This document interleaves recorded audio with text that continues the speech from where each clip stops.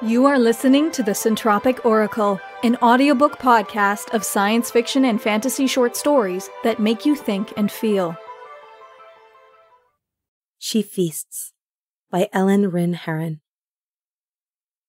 She fasts in the winter.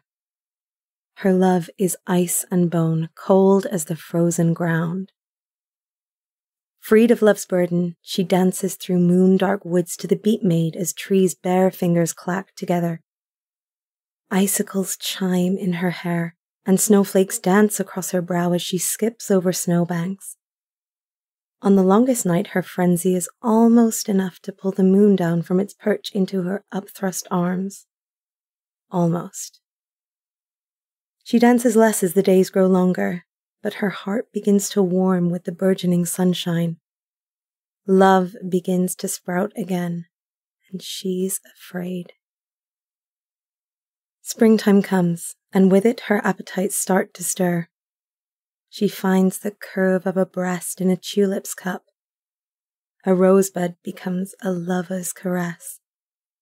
Her heartbeat quickens with the mingled perfume of iris and hyacinth. Her love thaws with the ground, and she feels the roots tying her to her sisters. She seeks the maiden with kisses lighter than dew. Lingering frost reminds her of winter's dance. But now she is lost in springtime and sunshine and the hope that her appetites will be sated, her thirst slaked. Fear grows in sunlight, and summer is coming soon. Fires are lit within and without, and the need grows stronger within her. Nights grow shorter until she nearly forgets the dance, and she becomes consumed by the sun. Golden rays draw her fire to the fore, and she basks in the sweat and sweet caresses of summer lovers.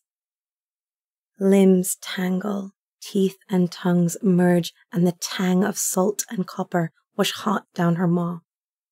She loses her fear. She feasts. The days cool, then blaze back to taunt her with summer's fever.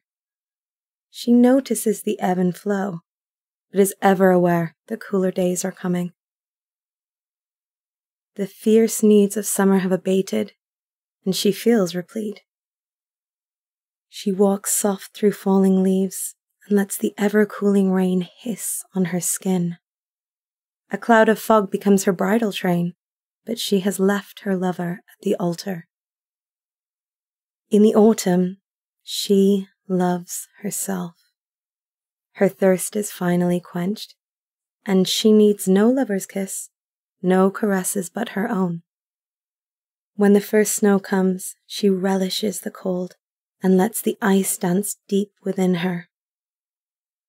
Her fear has fled with the sun, and now she looks forward to dancing through the hoarfrost.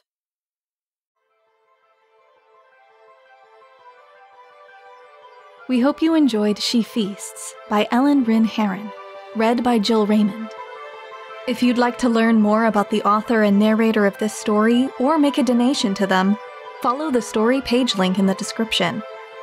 If you would like to submit a story for consideration or apply to be a narrator, a link to our submission guidelines is in the description. This story is copyrighted 2020 by the Centropic Oracle.